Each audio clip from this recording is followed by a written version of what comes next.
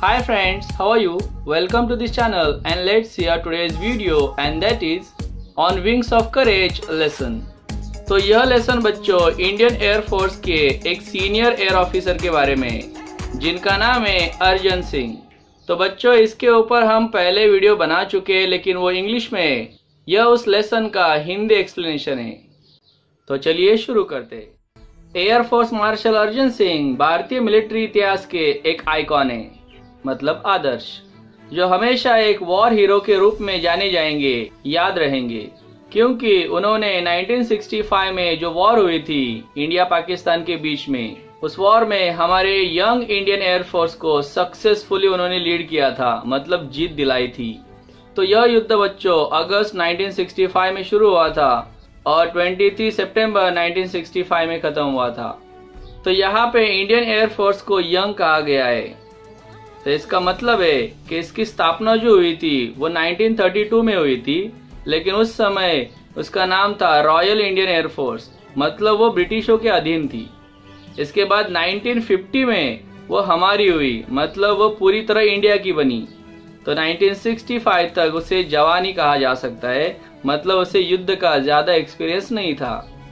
तो वह अकेले ऐसे ऑफिसर थे जिन्हें एयरफोर्स की सबसे हाईएस्ट पोस्ट मार्शल मिली है जो आर्मी के फाइव स्टार फ़ील्ड मार्शल की लेवल की है मतलब एयरफोर्स में मार्शल और आर्मी में फ़ील्ड मार्शल ये सबसे ऊँची पोस्ट है। तो वह एक निडर और अद्वितीय पायलट थे, जिन्होंने 60 से ज़्यादा एयरक्राफ्ट को उड़ाया है। उन्होंने इंडियन एयरफोर्स को दुनिया की सबसे शक्तिशाली और चौथी सबसे बड़ी एयरफोर्स बनाने के लिए महत्वपूर्ण भूमिका निभाई। तो यहाँ पे आप देख सकते हो कि 2019 तक हमारी टोटल एयरक्राफ्ट स्ट्रेंथ कितनी थी। तो ये हम सब के लिए बड़ी गर्व की बात है कि हमारी एयरफोर्स चौथे नंबर पे पूरी दुनिया में। इसके ऊपर इंडियन एयरफोर्स के वाइस चीफ कपिल काक यह कहते हैं कि अर्जन सिंह का योगदान बहुत ज़्यादा है। इंडियन एयरफोर्स उनके साथ ही बड़ा हुआ। वह मिलिट्री लीडरशिप के सच में उत्कृष्ट एपिटॉम प्रतीक थे। मतलब लीडरशिप कैसी होनी चाहिए, यह उन्हें देख के पता चलता है। जैसे छत्रपति शिवाजी महाराज भी बेस्ट लीडरशिप के लिए जाने जाते और इसीलिए इसमें चकित होने जैसा कुछ भी नहीं है कि उन्हें एयरफोर्स मार्शल के रैंक के साथ पुरस्कृत, सम्मानित किया गया। अर्जन सिंह को 2002 में गणतंत्र दिवस पे मार्शल की रैंक से सम्मानित किया गया। Sam Hormus ji, Fram ji, Jamshed ji, Manek Shah and K M Cariappa इन दोनों आर्मी जनरल्स को भी आर्मी की सबसे बड़ी रैंक फ़ील्ड मार्शल से सम्मानित किया गया है। मतलब फाइव स्टार रैंक इन तीन लोगों को ही अब तक मिला है। वह एक कम बोलने वाले इंसान के तौर पे जाने जाते थे। वह एक निडर पायलट ही नहीं थे, बल्कि एयर पावर मतलब हवा की जो ताकत है, उसका भी उन्हें बहुत ज़्यादा ज्ञान था। और खाली ज्ञान ही नहीं था, उसका ज़्यादा से ज़्यादा इस्तेमाल किस तरह करना चाहिए, ये भी वो अच्छी तरह से जानते थे।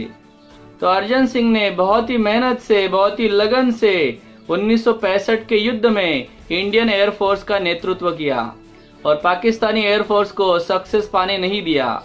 हालाँकि पाकिस्तानी एयरफोर्स उस समय अमेरिकन एयरक्राफ्ट से सुसज्जित था।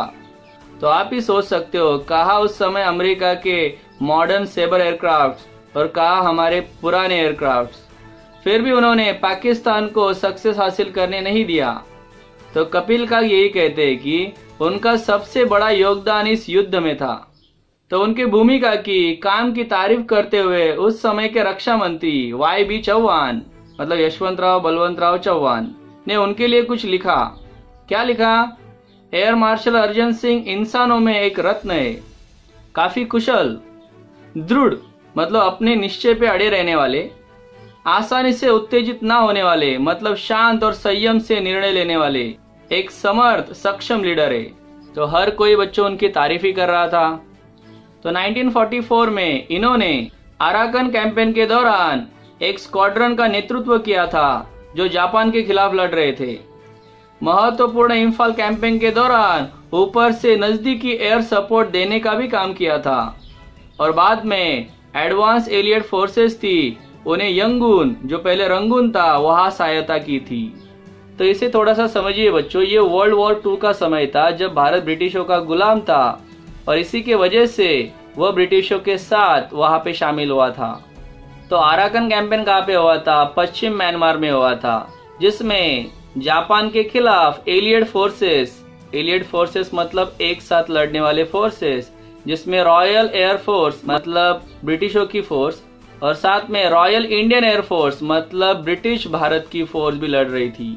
आगे जापानीज सोल्जर इम्फाल की तरफ़ बढ़े तो उसे कहा गया क्रूशल इम्फाल कैंपेन और जो यंगुन कहा गया है तो वो म्यांमार का एक बहुत बड़ा शहर है। तो यहाँ पे उन्होंने बहुत बढ़िया काम करके दिखाया।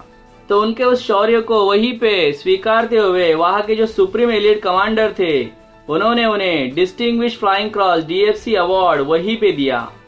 और वो वह अवार्ड पाने वाले पहले भारतीय पायलट थे। तो बच्चों, उस समय दोनों फोर्स के जो एलिट कमांडर थे वो थे लॉर्ड लुइस माउंट बैटन और उन्होंने ही अर्जन सिंह को उस समय ये अवार्ड दिया। देखते आगे क्या है। सो so, 1938 में सिंह को एम्पायर पायलट ट्रेनिंग कोर्स के लिए सिलेक्ट कर लिया गया जब वे बस 19 साल के थे। और 1969 में वह अपनी सेवा से निवृत्त हो गए। तो ये उनका कार्यकाल यहाँ आप देख सकते हो।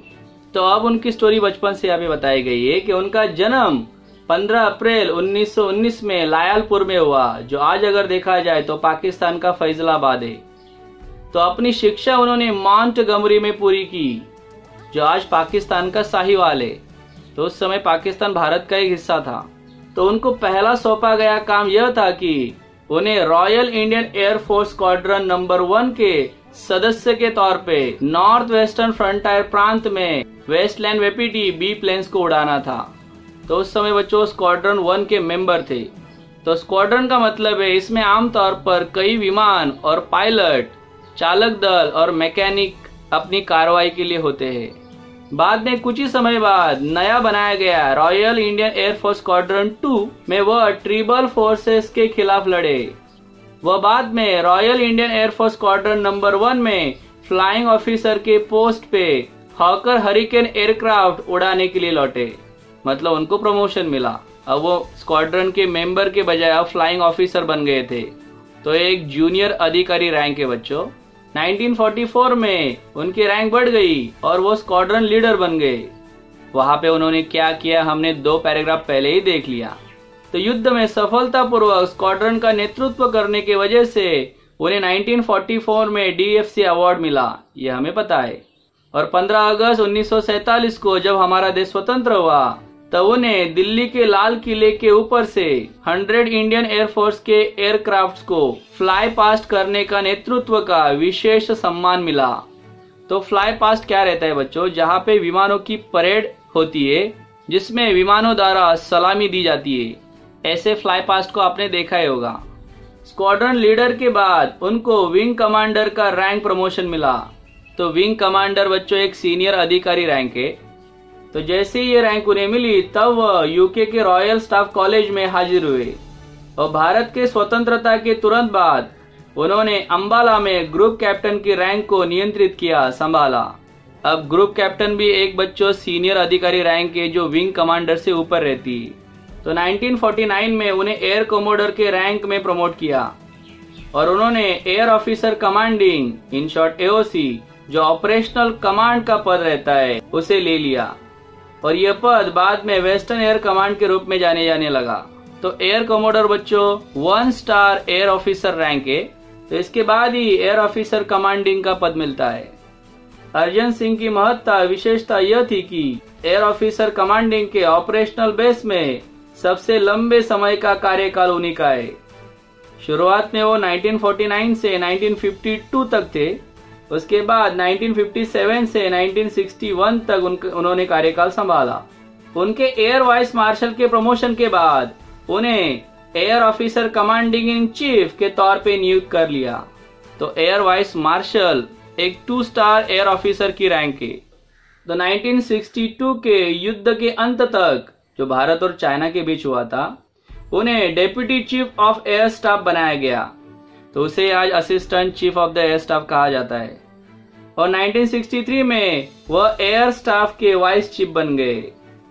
तो आगे वह शिक्षा जॉइंट एयर ट्रेनिंग एक्सरसाइज के पूरी तरह से कमांडर थे, जो Indian air force royal air force और रॉयल ऑस्ट्रेलियन एयरफोर्स के साथ हुई थी। तो ये एक बहुत बड़ी बात है। एक अगस्त 1964 में एयर मार्शल की रैंक उन्हें मिली। तो एयर मार्शल यह एक three star air officer rank है। और अर्जन सिंह ने इंडियन एयरफोर्स का कंट्रोल अपने हाथ में तब लिया, जब वह फिर से बन रही थी और नए चैलेंजेस का सामना करने के लिए तैयार हो रही थी। तो पहले वो रॉयल इंडियन एयरफोर्स थी, लेकिन अब वो इंडियन एयरफोर्स बन गई थी। तो इसका मतलब वो खुद को फिर से बना रही थी। तो सिंह पहले ऐसे एयर चीफ थे, जिन्होंने अपने फ्लाइंग करेंसी को मतलब अपने फ्लाइंग के ज्ञान को, कुशलता को, अनुभव को chief of the air staff के रैंक तक अप टू डेट रखा। मतलब वो आगे चल के chief of the air staff बने। साठ अलग अलग एयरक्राफ्ट को उन्होंने उड़ाया, जिसमें वर्ल्ड वॉर टू के बी प्लेन्स के साथ, आज के जमाने के नेट्स और वेम्पायर जैसे एयरक्राफ्ट भी शामिल है। उन्होंने सुपर कॉन्स्टलेशन जैसे ट्रांसपोर्ट एयरक्राफ्ट को भी उड़ाया है। 1965 में जब पाकिस्तान ने उनका ऑपरेशन ग्रैंड स्लैम अपनी पूरी फोर्स से, ताकत से जम्मू कश्मीर के अखनूर शहर पर हमला किया। तब सिंह ने भी इंडियन एयरफोर्स का नेतृत्व युद्ध में साहस, निश्चय और बहुत ही कुशलता से किया।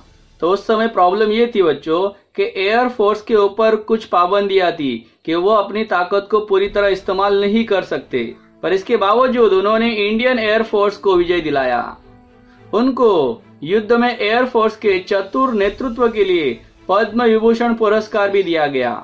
उसके बाद युद्ध में एयरफोर्स के योगदान को पहचान के chief of the air staff के रैंक को बढ़ाया गया और अर्जन सिंह पहले इंडियन एयरफोर्स के एयर चीफ मार्शल बने। तो एयर चीफ मार्शल बच्चों, यह एक four star air officer rank है। तो इससे पहले कोई भी एयर चीफ मार्शल नहीं बना था। तो वह उनके इंडियन एयरफोर्स के कार्यकाल के अंत तक विमान चालक, फ्लायर रहे, जिनमें वह फॉरवर्ड बेसिस को यूनिट्स को विज़िट देते थे और स्क्वाड्रन के साथ कभी कभी उड़ने भी चले जाते थे। तो 1969 में वह रिटायर्ड हुए और उसके बाद उन्होंने स्विट्जरलैंड की एम्बेसडरशिप ली। तो मतलब वो भारत के राजदूत बने। वह दिसंबर 1989 से दिसंबर 1990 तक दिल्ली के लेफ्टिनेंट गवर्नर रहे। तो रिटायर होने के बावजूद काम बंद नहीं किया बच्चों। तो आर्म फोर्सेस के सभी अधिकारियों के लिए मतलब आर्मी नेवी एयरफोर्स के सारे के सारे बड़े बड़े अधिकारियों के लिए, सालों तक प्रेरणा स्रोत बनने की वजह से भारत सरकार ने marshal of the air force यह रैंक अर्जन सिंह को जनवरी 2002 में दे दी। जिस वजह से इंडियन एयरफोर्स के वह पहले और अकेले फाइव स्टार रैंक वाले अधिकारी बने। और 16 सितंबर 2017 में उनका देहांत हो गया। अगर देखा जाए तो इन्होंने पूरा का पूरा जीवन अपने देश के लिए निछावर कर दिया है। तो हमें भी इनसे यही सीख लेनी चाहिए और हमें भी हमारा जीवन हमारे देश के लिए गुजारना चाहिए। सो आई होप कि आपको ये लेसन अच्छे से समझ में आ गया होगा। तो आप लाइफ में क्या बनना चाहते हो, नीचे कमेंट ज़रूर कीजिए। Thank you so much for watching the whole video and subscribing this channel keep studying bye bye